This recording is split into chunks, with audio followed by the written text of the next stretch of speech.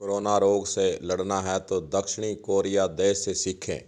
जी हाँ दक्षिण कोरिया में कोरोना रोग की जाँच का ऐसा प्रबंध किया गया है कि 10 मिनट में जाँच तथा जाँच रिपोर्ट एक घंटे के अंदर आ जाती है।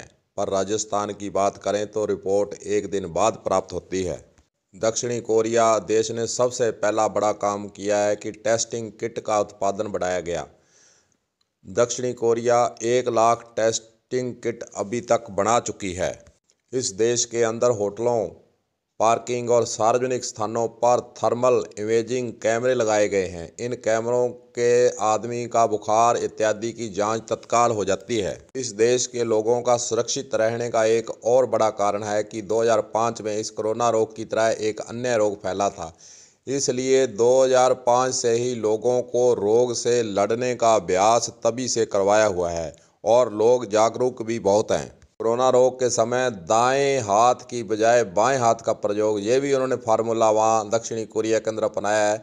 उनका कहना है कि दाएँ हाथ की जगह बाएँ हाथ से प्रयोग करेंगे तो जिस हाथ से आप प्रतिदिन कार्य करते हैं, वही हाथ आपके चेहरे पर आसानी से चला जाता है। इसलिए उन्होंने बदलकर हाथ कार्य करने का एक तरीका निकाला जिससे भी आदमी जो है वो सुरक्षित रहे हैं। पर हमारे यहाँ क्या है कि मेडिकल टीम के पास बुखार नापने के थर्मामीटर तक नहीं है। हनुमानगढ़ में पत्रकार वार्ता में इस बिंदु पर मेडिकल ऑफिसर से गर्मा गर्मी भी हो चुकी है। हमें दक्षिणी कोरिया देश से सीखने की ज़रूरत है। कोरोना रोग को रोकने के लिए जो साधन होने चाहिए, वो हमें खरीदने ही चाहिए। दक्षिणी कोरिया देश में 600 से ज़्यादा टेस्टिंग सेंटर हैं। 50 से ज़्यादा ड्राइविंग स्टेशनों पर जाँच केंद्र बनाए हुए हैं।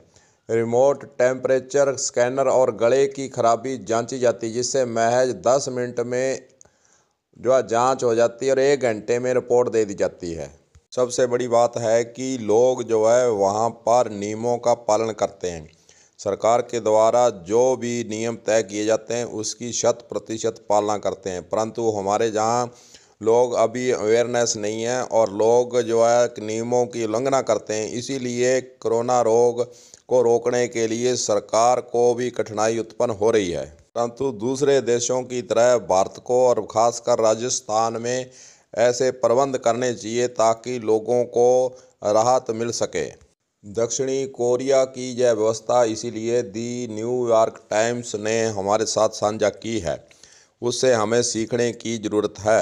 ऐसे प्रबंध कर तभी हम कोरोना रोग की लड़ाई को जीत सकते हैं। कलम न्यूज़ के लिए गुरदेव सिंह सैनी हनुमानगढ़।